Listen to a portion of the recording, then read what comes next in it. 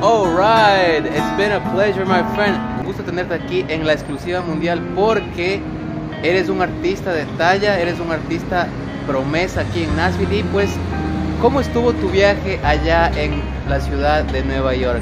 Now tell us a little bit of uh, how would you compare New York City in contrast to Nashville as far as a life on a daily basis for a musician? Well, uh, uh, I think it's, it's easier to make money in Tennessee on the street, but it's harder to play inside because there's a lot of competition. So in, in New York, I had a lot better luck playing inside places. It wasn't hard to find a place to play inside and get tips in there. But playing on the street in New York was hard for playing guitar. You know, I think people who play more universal music Pues aquí en Nashville él dice que en las calles gana más dinero, pero en la ciudad de Nueva York es más fácil hacer dinero en los bares, en los pubs. ¿Por qué? Porque hay muchas oportunidades, ya que ahí hay bastante gente de diferentes países, ya sea Inglaterra? France, Francia, España, muy uh, bien. possibly. Y pues eh, respóndenos una pregunta. ¿Cómo te ves tú en tu carrera musical en eh, dos años o cinco años? Answer us, uh, tell us, tell us uh, this uh, interesting question. How would you see yourself in two years as far as your music career? What comes to your mind like really, really quick? playing more places, playing, Okay. having more a wider audience, more of an audience. Uh, Claro.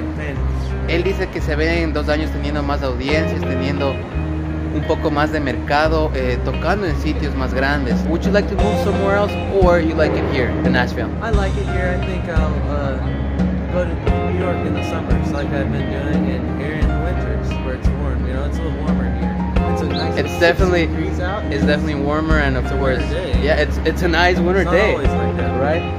Here in Nashville, we got that uh, climate advantage. Of course, in New York, it's freezing, Yeah. but of course, uh, the United States is a huge, huge melting pot of place. Huge, huge Especially melting pot, right? Es un placer tenerte aquí y eres una inspiración. ¿Por qué? Porque el El arte es una de las carreras que requiere paciencia, dedicación, constancia, pues y tú eres un ejemplo vivo de lo que se requiere para tener esa determinación para lograr los objetivos en la carrera musical, en especial aquí. It's been a pleasure having you in the Worldwide Exclusive. People like you, people like you, my friend, are the ones that inspire all the people that are striving to achieve their goals. Whether it's in music, whether it's in acting, in every single phase of what we call the art career. Why? Because we are people who are always fighting Yeah. to go one step ahead to attain our dreams. Hey, it's been a pleasure, Thank you, Max. and we'll see you guys later in another edition of the Worldwide Exclusive. Gracias. De Buenos nada, días. hermano. De Buenos nada, días.